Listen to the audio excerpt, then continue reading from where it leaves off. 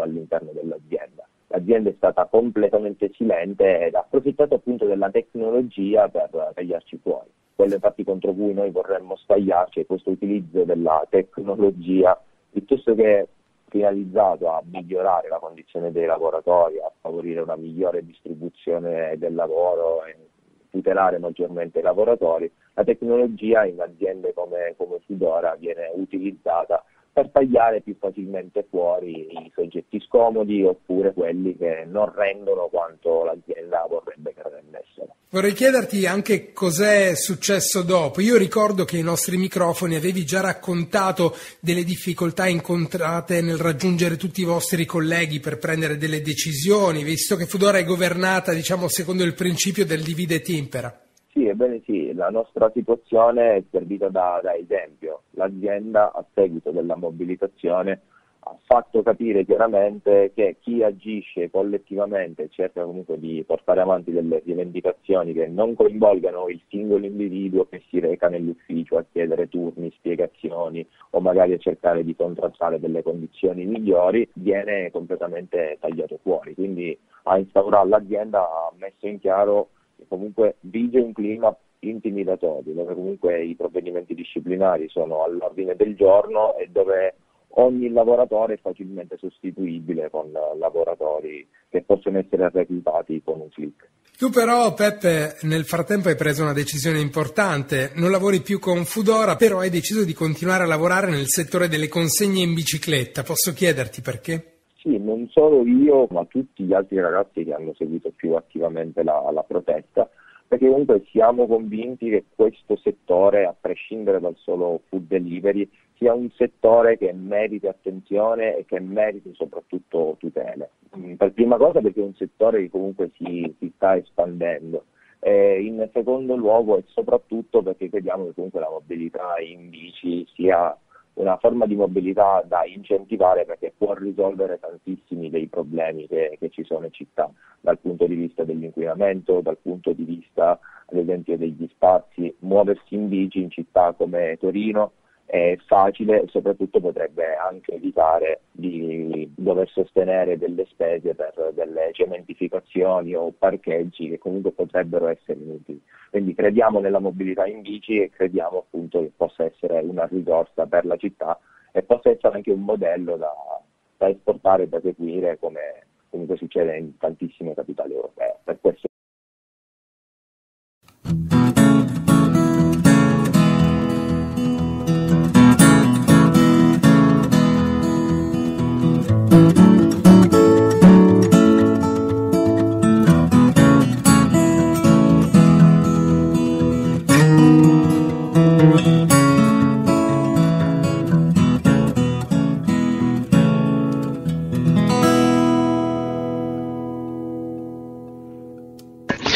Bene, allora riaccendiamo i microfoni qui da Radio Rete Edicole. Avete appena sentito la, eh, due testimonianze. Una del segretario delle SLC Balili, Marco Balili di Modena, che ci ha parlato della Edis, eh, un'azienda della galassia eh, Panini che nello specifico provvede all'imbustamento delle figurine e del licenziamento di eh, ben la metà del proprio organico. Eh, abbiamo eh, con Marco parlato della nostra esperienza invece della Panini, eh, di quello che abbiamo raccolto in questi mesi, il tentativo di depauperare, proprio il caso di dire la filiera quindi sfruttare finché è possibile e poi chiudere un'esperienza ormai quasi eh, centenaria eh, o comunque importante. Poi abbiamo, eh, ci siamo spostati a Torino con questo servizio di Radio Articolo 1 che ci ha parlato delle nuove frontiere dello sfruttamento digitale, o meglio come si può sfruttare un lavoro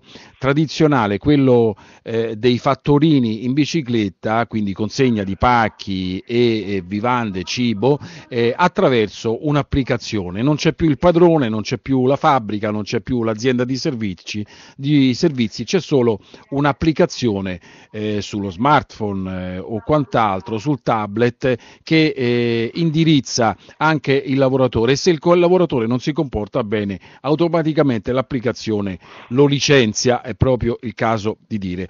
Adesso cambiamo argomento, abbiamo eh, con noi, come avete sentito, sentito nel sottofondo Amilcare Digiuni. Buongiorno Amilcare. Buongiorno Fabio e buongiorno a tutti. Col quale ci scusiamo di questo eh, piccolo ritardo, questa mattina siamo stati un po' intasati eh, di eh, servizi e spunti. E del resto è una radio che piano piano ma cresce, cresce nella qualità, è una cresce... Radio vivace, Viva... una radio vivace. Forse troppo. no, no, lo dico perché c'è l'età, quindi eh, proprio in questi giorni eh, mi ha colpito eh, appunto un mal di schiena di quelli proprio inenarrabili, quindi sto abbarbicato sulla postazione e mi rendo conto che con questa vivacità devo un po' eh, abbassare i giri.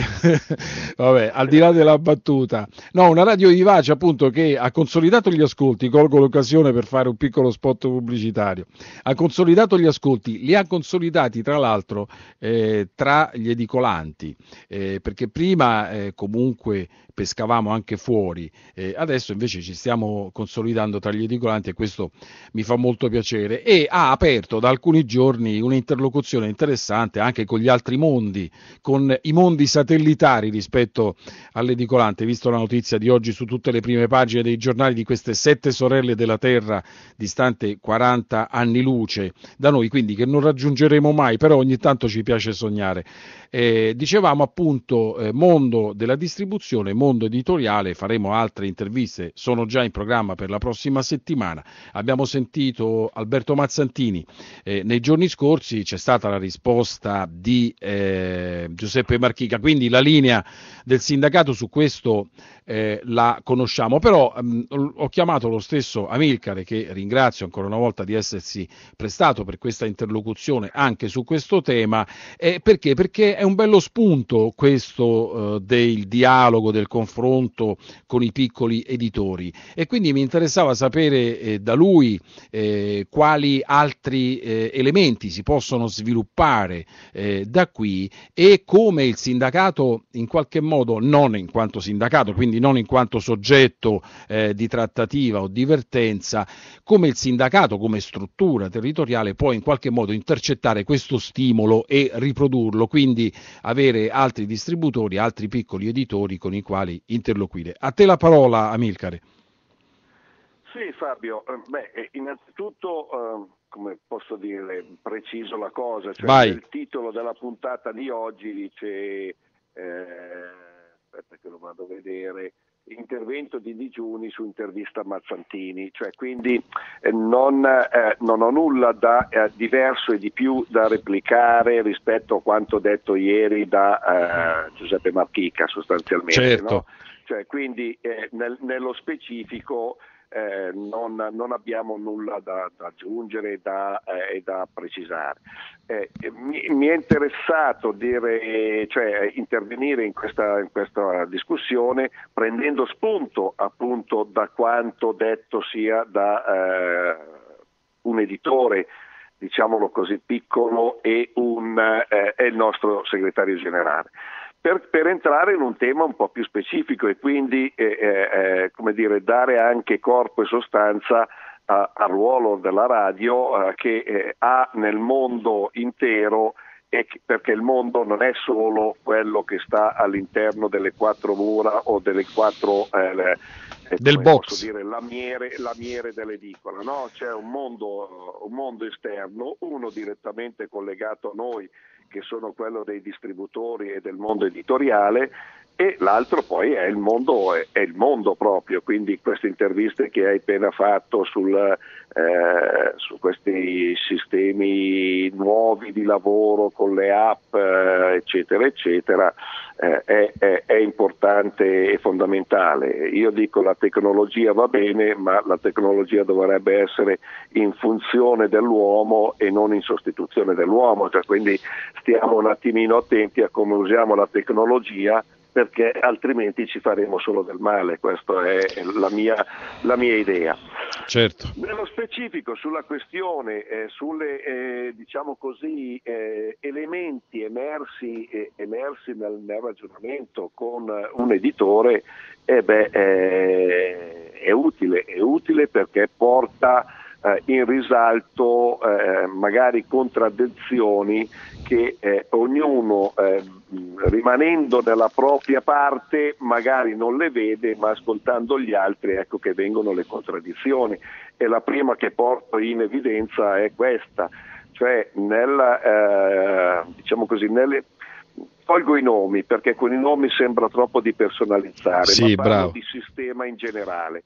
Nell'intervista del distributore il distributore dice beh ma cosa volete, noi non possiamo fare nulla perché quello che ci dice l'editore barra distributore nazionale che eh, parla per eh, il eh, conto dell'editore, beh quello che ci dicono loro di fare noi facciamo e poi eh, l'editore che dice ma io chiedo di fare alcune cose al distributore nazionale perché è lui il mio interlocutore, è lui è il soggetto con il quale io ho un rapporto, gli chiedo di fare alcune cose, magari il distributore nazionale mi dice va bene si fanno e poi sul territorio non vengono, non vengono realizzate. L'esempio l'ha fatto, l'ha fatto anche Giuseppe, magari parlando invece eh, de, de, del rapporto preciso col distributore, ma eh, quando parlava del, ha parlato del, della, della, della, dell'incontro per il rinnovo dell'accordo, che uno dei temi dei tavoli, è quello del censimento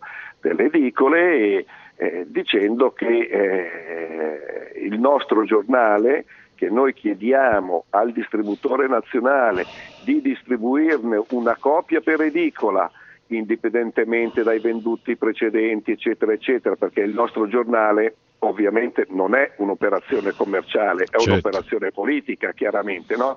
Quindi il fatto che il giornalaio, come dire, non lo trattiene per sé, cosa che noi auspichiamo perché questo ci aiuta sostanzialmente a pubblicare, gli, ci aiuterebbe a pubblicare gli altri numeri, no? Quindi è un diciamo così, sostegno, non lo chiamo finanziamento, ma un sostegno indiretto a, a, a, diciamo, al modo in cui poter portare informazioni alla rete di vendita.